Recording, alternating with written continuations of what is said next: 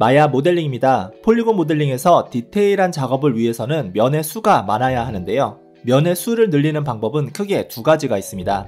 첫 번째, 선을 추가하여 면을 분할하는 방법. 두 번째, 면을 Extrude로 늘려가는 방법입니다. 이번 시간에는 면을 늘려가며 형태를 만드는 방법에 대해 알아보겠습니다. 하트 상자를 만들겠습니다. Create Polygon Primitive Plane을 클릭하여 면을 생성합니다. 생성한 물체를 클릭하고 Channel Box Input에서 Subdivision 값을 각각 4로 변경합니다. Space 키를 클릭하고 Top View에서 Space 클릭 중심을 기준으로 양쪽의 모양이 대칭이 되도록 작업하는데 두 vertex를 동시에 선택하고 S Scale과 W 이동을 사용하면 대칭 작업이 가능은 하지만 컨트롤하기 어려울 거예요. 이럴 때는 한쪽 면을 만든 다음 반전 복사해주면 편리합니다. 우선 한쪽 모양을 만들어 주겠습니다. 왼쪽 상단의 면을 클릭하고 Delete 키를 눌러 삭제합니다. 키보드의 V키를 누른 상태로 vertex를 드래그하면 vertex Snap 기능이 적용되어서 다른 물체의 vertex로 이동할 수 있습니다. 참고로 X키를 누르고 이동하면 Grid Snap이 적용됩니다. Perspective View에서 vertex를 클릭하고 올려보면 같은 자리에는 있지만 연결되어 있지 않은 것을 확인할 수 있습니다. vertex를 연결하는 기능은 Edit Mesh Merge입니다. 옵션을 살펴보면 Threshold는 연결할 vertex의 범위를 설정하고 Always Merge는 거리와는 관계없이 선택한 두 개의 vertex를 병합해주는 기능입니다. 여기서는 두 개의 vertex를 드래그하여 선택하고 Threshold 값을 0.001로 설정한 다음 Apply를 클릭합니다. vertex를 클릭하고 움직이면 양쪽 면이 같이 움직이는 것을 확인할 수 있습니다. 아래쪽 면을 삭제하고 옆에 면도 삭제합니다. 왼쪽 위아래 vertex를 Shift 키를 눌러 함께 선택한 다음 에디트 메쉬, 머지 옵션, Always 머지를 체크하고 Apply 클릭 두 개의 vertex가 중간 위치에서 연결된 것을 확인할 수 있습니다. W키로 vertex를 이동하여 하트 모양의 형태를 만들어줍니다. polygon 모델링을 할 때 기억해야 할 것은 면의 각이 사각형을 유지하는 것이 좋고 면적이 비교적 균일하게 분포되어 있어야 하며 선이 서로 연결되어야 한다는 것입니다.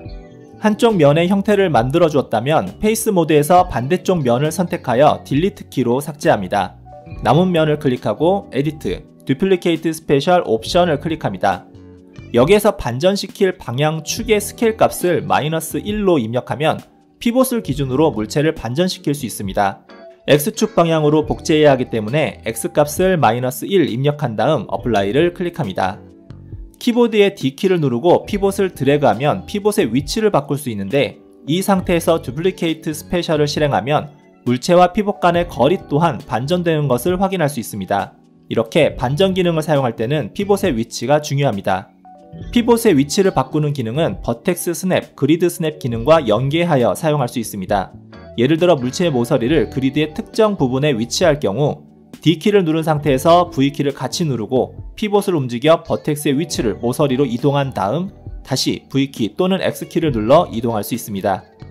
Pivot의 위치가 바뀌게 되면 Scale, Rotate의 기준 축도 바뀌게 됩니다. Pivot의 위치를 다시 물체의 중앙으로 되돌리는 기능은 Object Mode에서 물체를 클릭하고 Modify, Center Pivot을 클릭하면 됩니다. 가운데 부분이 붙어 있지만 좌우 물체를 클릭하면 분리되어 있는 것을 확인할 수 있습니다. 두 물체를 하나로 연결해 보겠습니다. object 모드에서 두 물체를 드래그하여 선택 또는 Shift 키를 누른 상태로 각각 클릭, mesh, combine을 클릭하면 하나가 되어 움직입니다. 연결 해제는 mesh, combine separate입니다.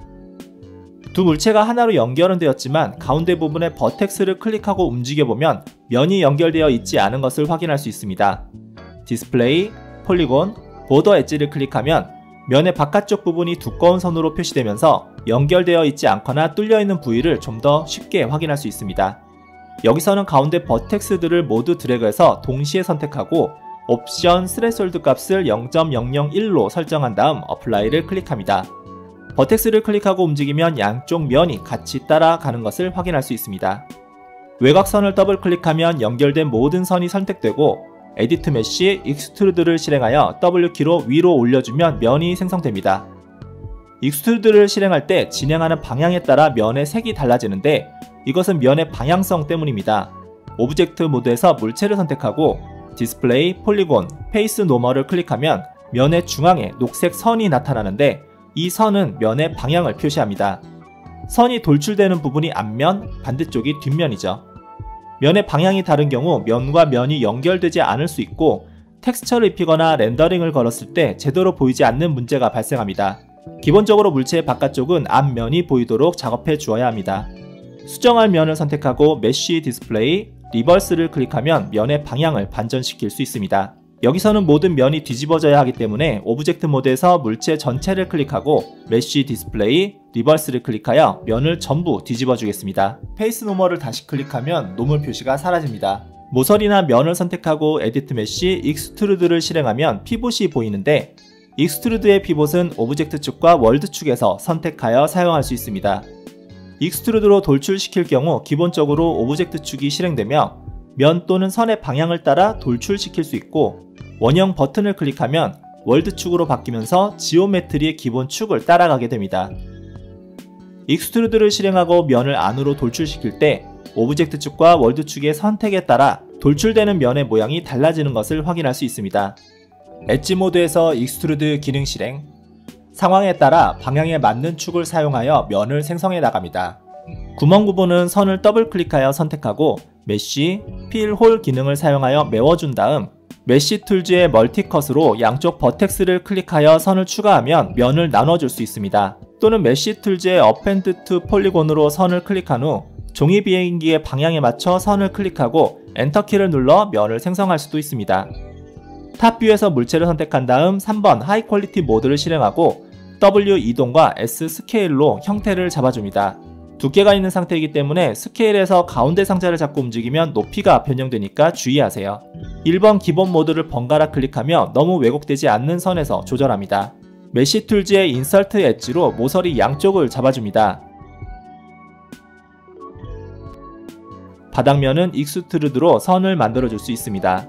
기능을 실행하면 object 방향의 pivot이 보이는데 pivot 축 끝에 상자를 클릭하면 피봇의 가운데에 스케일 상자가 나타나고 가운데 상자를 클릭 드래그하면 object를 기준으로 면을 extrude 하면서 선을 추가한 것과 같은 효과를 낼 수 있습니다. 안쪽 면은 extrude를 실행하고 R키를 클릭하여 world 축을 기준으로 스케일을 조절합니다. 면을 추가한 후에는 버텍스나 엣지를 움직여 간격을 조절해주세요. 물체를 클릭하고 mesh smooth 기능을 실행하면 면이 사분할되면서 곡면을 부드럽게 만들 수 있습니다. 물체의 기능을 적용하면 channel box input 패널에 기능 목록이 쌓이게 되는데 옵션을 클릭하여 수정해 줄 수 있습니다. 오른쪽 channel box가 안 보이는 경우에는 화면 상단 show hide channel box 또는 단축키 Control A를 클릭해 주세요. 지금처럼 smooth 기능을 적용한 경우 poly smooth face에 division을 3 입력하면 분할되는 정도를 높일 수 있고 0을 입력하면 원래 상태로 되돌릴 수 있습니다. 이렇게 쌓인 데이터는 컴퓨터에 부하를 줄 수 있기 때문에 edit, delete all by type, history를 클릭하여 삭제, 정리해 줄 수 있습니다. 그런데 history를 삭제하면 이전 상태로 되돌릴 수 없기 때문에 기능을 적용하기 전 백업 개념으로 object 모드에서 물체를 클릭하고 Control D를 눌러 복제를 하는 것이 좋습니다. 복제한 물체는 display, hide, hide selection, 단축키 Control H로 감춰주거나 outline 패널에서 감춰진 목록을 클릭하고 display, show, show selection, 단축키 Shift H를 클릭하여 보이게 할 수 있습니다. 물체의 smooth를 적용하여 면을 나눠준 다음 지금까지의 기능을 활용하여 형태를 정리해줍니다.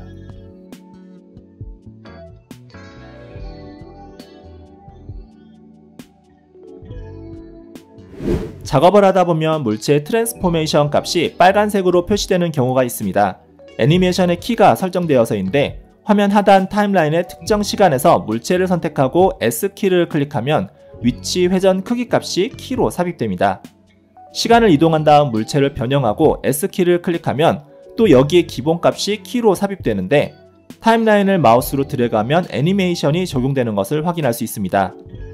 Shift 키를 누른 상태에서 키가 삽입된 부분을 마우스 드래그한 다음 마우스 오른쪽 버튼 클릭, delete를 클릭하면 삽입된 키를 삭제할 수 있습니다. 키를 삭제하게 되면 물체가 변형된 상태로 남게 될 수 있어요. Modify, Reset Transformation을 클릭하면 기본값으로 되돌릴 수 있습니다. 작업을 완료하고 현재 transformation 값을 기본으로 설정하고 싶다면 물체를 선택하고 Modify에 Freeze Transformation을 클릭하면 됩니다. 이렇게 하면 나중에 물체를 이동하거나 크기를 변경했더라도 Modify, Reset Transformation을 클릭해서 설정한 기본값으로 되돌릴 수 있는 거죠. 한 화면에 물체가 많은 작업을 할 경우에 설정해두면 좋습니다.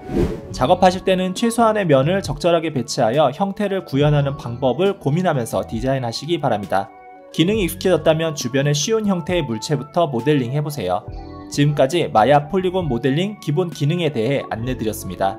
궁금한 점은 댓글 남겨주시고 도움이 되셨다면 좋아요와 구독 부탁드립니다. 시청해주셔서 감사합니다.